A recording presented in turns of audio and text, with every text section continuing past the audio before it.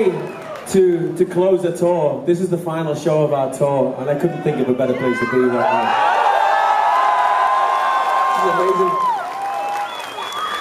This is amazing. So, shall we play some of the older stuff and you can... we play some stuff from Judgement. I want to see everybody jumping and going mad,